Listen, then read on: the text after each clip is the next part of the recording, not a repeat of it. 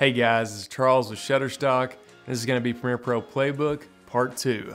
If you haven't seen Part 1 on the Shutterstock channel, definitely go check that out. I'm going to cover 10 more tips and shortcuts that I use all the time in Premiere Pro.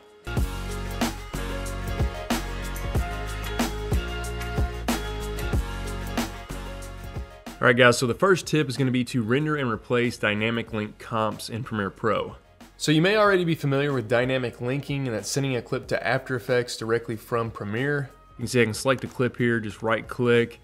We can come up here and select replace with After Effects composition. And that will send that clip to After Effects where you can do more intense visual effects work that maybe we couldn't accomplish in Premiere Pro. And that's what I've actually done with this clip here. You can see it's pink. That'll usually be the default color for a clip that's dynamically linked. But if you want to, you can also zoom in here and we can see it's a .aep file. So that is an After Effects project file. And we can actually scrub through here in the timeline and we can actually see, you know, the result of that After Effects project directly in Premiere. This is great, but sometimes depending on the amount of effects you apply, this can get really laggy when you're trying to like scrub through and preview it back in Premiere Pro. So a lot of times you might resort to actually exporting this out, then bringing that clip back in. We can actually do all of that automatically here in Premiere.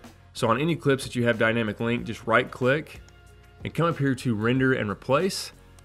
And this will open up the settings that we can select here for the sequence. And we can select the format we want the file to be, which is QuickTime. And there's a preset in here for ProRes and some Cineform. So I'm gonna select ProRes. And you can actually select the destination if you want to go next to the original media, like if it's an actual video clip, or in this case, I want to actually save where my project file is. I can go ahead and click OK. That's automatically gonna transcode that media, and that quickly it rendered out and replaced that file. So if I zoom in here now, we will see it is a .mov and I can go ahead and let's go ahead and reveal in project. And we can see it's went ahead and imported that clip in automatically and replaced it here in our timeline. And now whenever we go to preview that back, it's gonna play back really smooth because it's already a pre-rendered file opposed to directly reading it from the After Effects project and having to process all that information.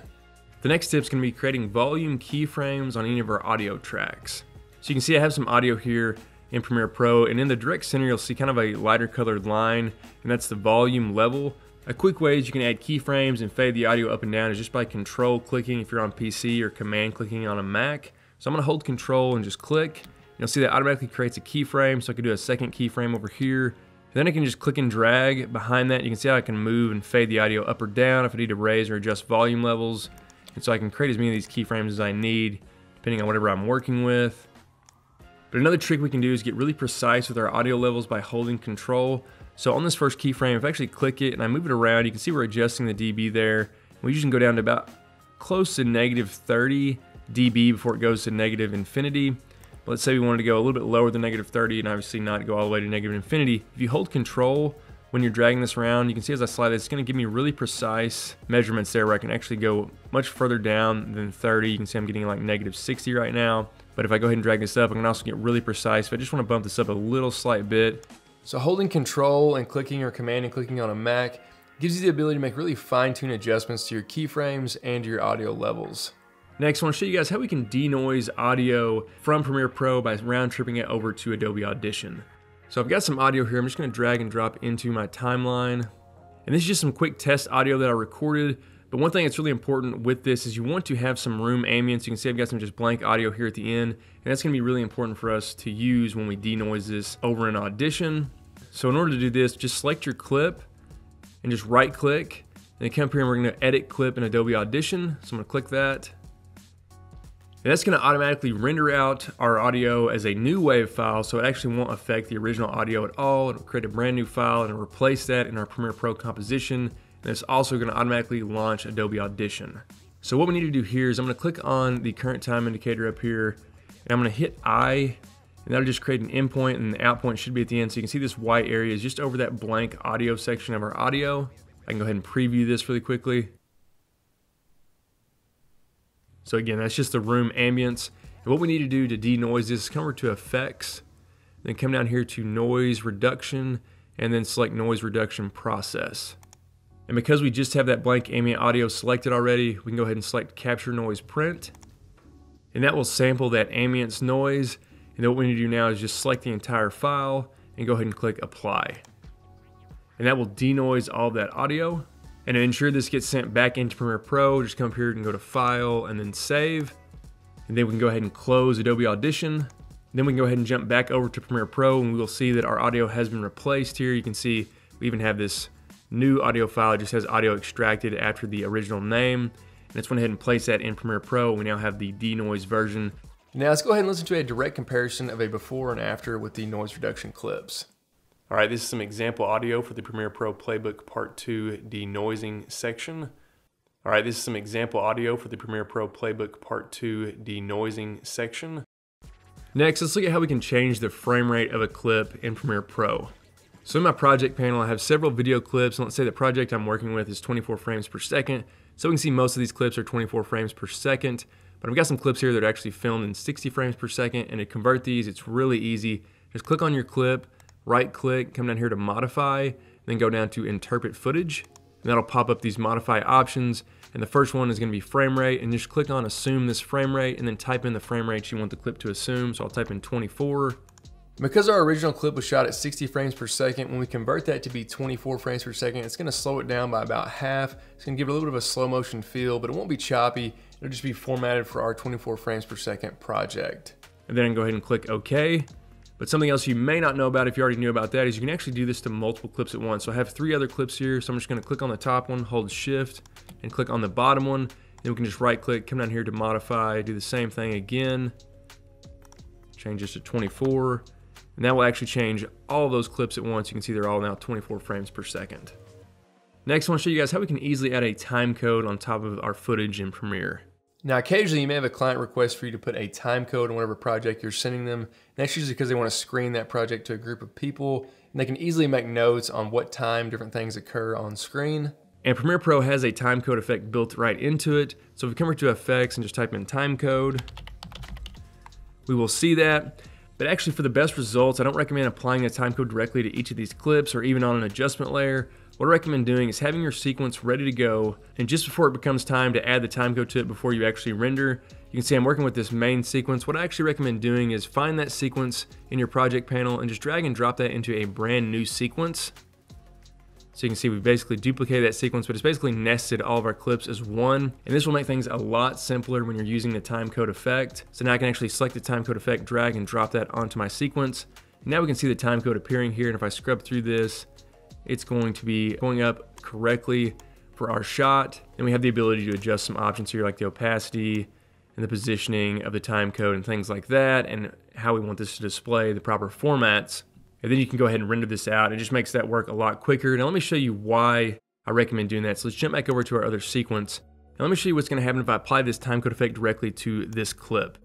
You can see the time code is reading out 7 hours, 50 minutes, 44 seconds, and like the 20 second frame, even though we're right here at the very beginning of our clip. So that's kind of a little bit confusing as to why this is happening. But the reason it's doing that is this timecode effect here in Premiere is actually reading some metadata that's attached to this specific clip. This clip came directly from a camera. And what this is actually telling us is this is actually part of the seventh hour of footage probably ever recorded with this camera and that metadata is still showing up on this clip and that's why it's reading out on the time code. That's why I don't really recommend applying the timecode effect directly to clips like this. It's much better to nest it because if you nest it, it'll automatically default to zero.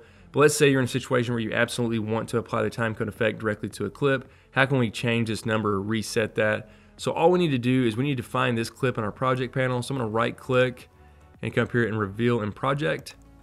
And now we can see that clip. Now let's go ahead and right click on it and come over here to modify and we need to go down to time code. And that's gonna show us the time code, and that's really that metadata again I mentioned that's kind of baked into this file, but if we wanna default this back to zero, just click on this, type in zero, and then come down here and click OK. And that will zero that out. You can see the time code now has been zeroed out and we can script through here and it's playing properly. And it's showing us the correct value, probably what you want in most cases. Next, let's take a look at the button editor and the source monitor settings. So in Premiere Pro, we have the program monitor where we can actually preview our footage and we have the button editor down here with these buttons. It's really a quick and easy way you can click on different settings like to play the footage back or maybe take a snapshot, export a keyframe, or maybe turn on the safe margins. But if there's other buttons you want to see down here, it's really easy. Just click on the plus icon over here. You can just drag and drop these other functions in here. One I really like is this global effects mute. So I'm going to go ahead and click OK. And actually, one other thing, when you have this open, you can rearrange the order of these buttons as well if you want to tweak the order of those. But what the global effects mute button does, you can see I've got some VHS effects applied to this clip. If I go ahead and click this, it'll actually turn off all the effects in our timeline. So this can make it really easy to scrub through and preview everything. If you just want to check time, then you can click that back on. It will turn all the effects back on. But let's say there's some functions in the button editor that I want to access, but I don't want to necessarily have them here on the button editor toolbar. What you can do is this little wrench icon, if you click this, this will basically show you all those options that are in the button editor, but you can just quickly access them from here without having to have them on the toolbar. So we have things like show the rulers here. This can allow us to add guides on top of our footage, you can see. And if you want to turn those back on and off, you can come down here and click that here. Another one I really like is the comparison view. So I come here and turn this on. It'll take a screenshot of whatever clip we're looking at currently, and then we can move this over to another clip in our timeline. We can compare and contrast between the two, and then you can go ahead and turn that back off from here as well. And that's the in and outs of the button editor and where you can access those monitor source settings. Now let's take a look at measuring time with in and out points. So in our timeline in Premiere, we can set an in point really easily by pressing I on the keyboard. That'll create an in point, and then we can set an out point as well, pressing O on the keyboard, and then we can drag these wherever we want them to be. So if you're just wanting to render out a specific area on your timeline, you can just drag these one at the end and one at the beginning, and that will make sure when we export this, it'll just export between those two. This is a quick way to make sure that you don't export anything you don't want. Now what I use the in and out points for most frequently is actually measuring the time and the distance between two clips. So you can see I've got a gap here. Let's say I need to create a graphic to fit in between these two clips and I don't want to create a graphic any longer than I have to, so I need to figure out a way to measure between these two different clips, and it's really easy. So if I just set the in point here, and I can kind of snap this if I have snapping turned on to the end of that clip, and then the out point here with this one. So I need to know exactly what the distance here is. Well, if we come right over here, we actually see the exact in and out point duration, so that's going to tell me four seconds and five frames. And you can see as I drag and adjust this, that's going to update. Again, this is really convenient if you need to find out the length of a clip or maybe you're measuring the distance between two clips if you're needing to create some graphics. Now let's take a look at how we can edit the names and the colors of labels. So you may already know about labels in Premiere Pro. You can see we have different colored clips. And if you want to change the color of a clip, just right click on it, come up here to label, and you're going to see we have all these different colors we can choose from. Now the default naming of the colors in Premiere Pro is a little bit unconventional and can be confusing. And I also think that some of the colors are a little off-putting because they're almost too dark where you can't really read the titles of the clips that you have in your timeline. But I'll go ahead and show you a quick example of this. So if I click on this clip and I right click and I come over to label, let's say I wanted this to be green. Well, if I come down here and select green, we're gonna see it's a really dark colored green uh, for it being green, but let's go to this other clip. I'm gonna right click. Let's come over here to forest, which we would expect to be a darker colored green, and I click that, and that actually looks more like an actual default green so these colors are kind of swapped and the default labels and actual colors in Premiere Pro I'm not a big fan of, but luckily we have the ability to edit all of these. So let's come over here to edit, come down here to preferences, and we're gonna select labels. Now we're gonna see a really cool menu that allows us to rename all of these labels and actually tweak the colors. So I can click on this and I can update this to a different color if I wanted to, or tweak it and click OK.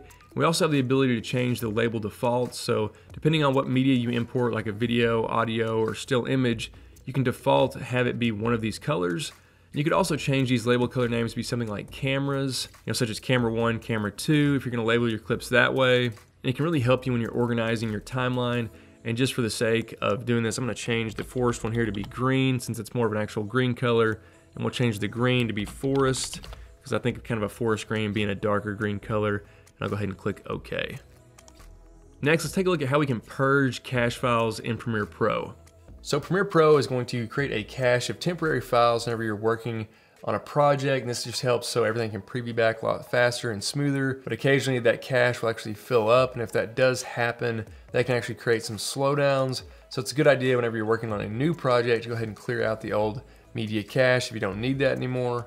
So just come here to edit, and we're gonna come down to preferences again, and we need to select the media cache.